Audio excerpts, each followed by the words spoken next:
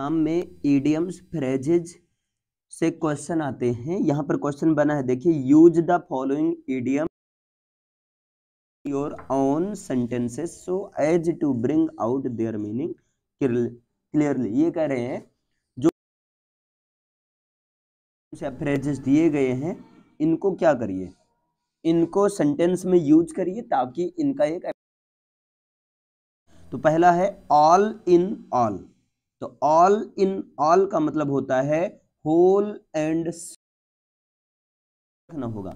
All in all का मतलब होता है होल इन सोल यानी कि सर्वे सर्वा।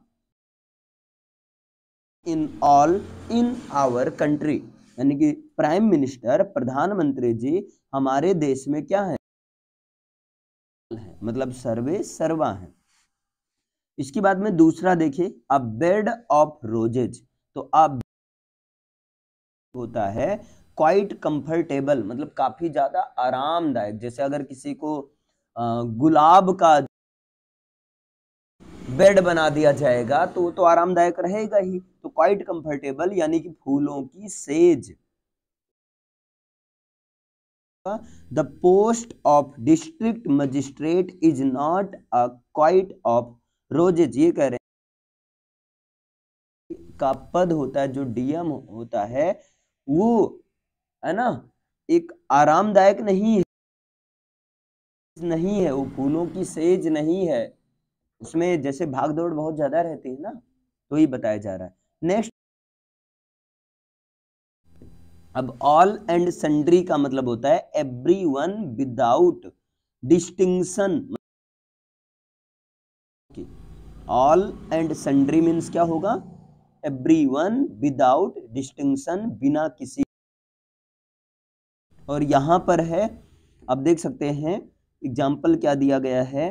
ही इनवाइटेड उसे invite sundry to the marriage party मतलब मैरिज पार्टी में इनवाइट किया गया, वो भी बिना किसी भेदभाव सकते हैं, ये सारा क्वेश्चन किसी ना किसी एग्ज़ाम में पूछा गया है।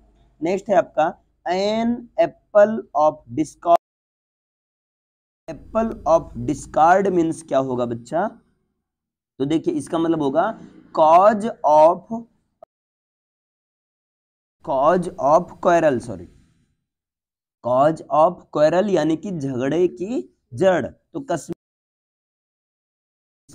between India and Pakistan Kashmir जो है, इंडिया और पाकिस्तान के बीच एक एप्पल ऑफ़ डिस्कॉर्ड है। इसके बाद में नेक्स्ट आप देख सकते हैं, पांचवा, अब बोर्ड अब बोर्ड का मतलब होगा ऑनेस्टदार और स्पष्ट। अब बोर्ड मीन्स क्या होगा? ऑनेस्ट एंड फ्रैंक यानी कि ईमानदार एंड सेंटेंस में यूज़ क्या he is always above board in his dealing with his अपने कस्टमर्स के साथ डील करता है, तब अब बोर्ड रहता है मतलब ऑनेस्ट और जो है ऑनेस्ट एंड फ्रैंक रहता है। तो एक बार बताओ, पाँच याद हो गया? चलिए बताइए।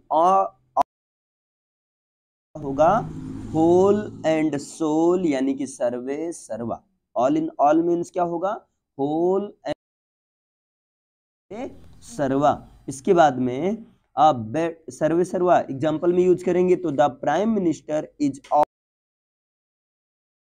country दूसरा अ बेड ऑफ़ रोजेज का मतलब होता है quite comfortable a bed of roses mean comfortable यानी कि फूलों की says the post of district magistrate is not a quite rose and sundry तो ऑल एंड सन्ड्री मीन्स होगा एवरी वन विदाउट डिस्टिंक्शन यानी कि बिना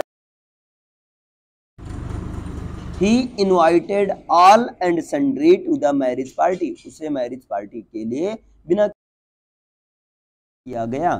इसके बाद में नेक्स्ट है आपका an apple of discord means क्या होगा? कॉज ऑफ़ क्वेरल यानी कि झगड़े की जड़। तो Kashmir is an apple of discord between Kashmir जो है इंडिया और पाकिस्तान के बीच एप्पल ऑफ़ डिस्कार्ड है, झगड़े की जड़ है। होगा। अब बोर्ड मीन्स होगा। ऑनेस्ट एंड फ्रैंक यानी कि ईमानदार तथा स्पष्ट is always above with his customers वो अपने कस्टमर्स के साथ डील करने में क्या है? ऑनेस्ट एंड एंड फ्रेजेज हैं, एक तरह से मुहावरा तो थोड़ा सा कठिन होता है, इसलिए इसका पाँच पाँच करवाएँगे पर डे। पाँच में कल इसके बाद आगे फिर कंटिन्यू कर दूँगा कर दूँगा। ओके क्लियर एक बार जल्दी से जल्दी बता दीजिए ऑल इन ऑल का मतलब सर्वे सर्वा ऑफ़ रोजेज मीन्स फूलों की says quite comfortable all and sundry means क्या? यानी बिना किसी भेदभाव के। An apple of discord means झगड़े की जड़ कॉज ऑफ़ क्वेरल और अब first, honest and frank. Clear? हाँ ये सेंटेंस जैसे हिंदी मुहावरा आता है ना, कि मुहावरे का अर्थ लिखो और उसका सेंटेंस में यूज़ लिखो। हाँ ये क्वेश्चन आता है भाई, question. Use the following idioms and phrases in your own sentences. जैसे हिंदी में आप लोग सुने होंगे, निम्नलिखित मुहावरों का अर्थ लिखिए। जैसे ईद का चाँद होना तो कैसे लिखते थे? बहुत दिनों बाद दिखाई देना, राजन लगता है जैसे कि वो ईद का चाँद हो गया है। ऐसे कुछ भी आप यूज़ करना तो वैसे यहाँ पर आप सेंटेंस अपने आप एक सेंटेंस का यूज़ किया है। मेन होता है अर्थ, आपको याद रहना चाहिए। क्लियर है? Okay thank you